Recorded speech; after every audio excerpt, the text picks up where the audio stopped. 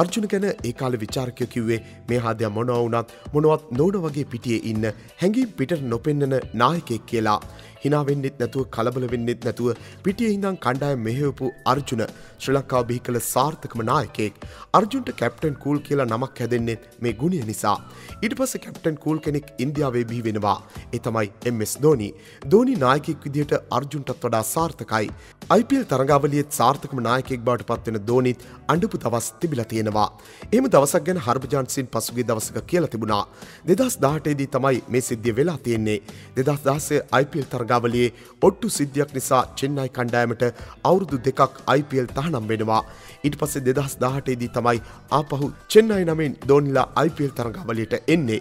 මේ සිද්ධිය වෙන්නේ දෙදස් දාහට අවුරුද්දේ. CSK අවුරුදු දෙකක තානමකට පස්සේ ආයෙත් IPL එකට එද්දි කණ්ඩායමට ඩින එකක් තිබුණා. එදා තමයි මම දෝනි අඩනවා දැක්කේ. සාමාන්‍යයෙන් දෝනි වගේ පිරිමි අඩයි කියලා හිතන්න බෑ. එදා ඒ දේවල් වෙනස් වුනා ඔහු හැඟුම් බර වෙලා එදා ඇඩුවා හර්භජම් මේ විදිහට තාමත් කවුරුත් නොදන්නා කතාවක් එලියට දාද්දි එවිද්දි චෙන්නයි කණ්ඩායමේ හිටපු ඉම්රාන් තාහිරුත් මේ කතාව අනුමත කරනවා.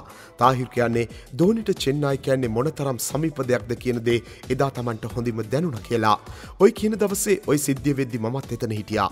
ඒ විදිහට තහනමින් පස්සේ චෙන්නයි නමින් ආපසු IPL සෙල්ලම් කරන්න ලැබුණ එක දෝනිට හරිම හැඟීම් බර අවස්ථාවක් වුණා.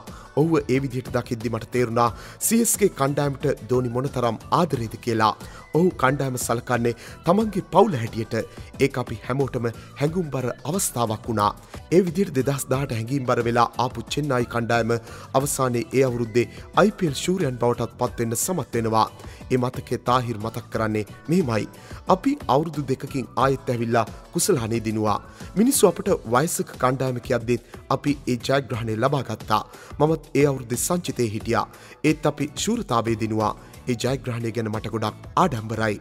ඔය විදිට තමයි IPL එක්ක එකට බැඳිලා තියෙන CSK ගැනත් දෝනි ගැනත් හර්පචාන් එක්ක තාහිර් අදහස් පල කරලා තිබුණේ. වැඩි වීඩියෝ දිනපතා බලන්න අපත් සමග එකතුවන්න. ඔබ තවමත් අපේ චැනලක සබස්ක්‍රයිබ් කල නැත්තං දැම් අපේ සබස්ක්‍රයිබ් කරන්නත් ක්‍රිකට්වලට කැමති ඔබේ යහලියකුට බලන්න මේ වීඩියකෂයා කරන්නත් අමතක් කරන්න එපා. ක්‍රිකට් පිටිය නැවම් දෙ සපිරි තවත් අලුත් වීඩියෝවකින් හමුවනතෙක් ක්‍රිකට් ලංකාවෙතින් ඔබට සුබදස්සක්.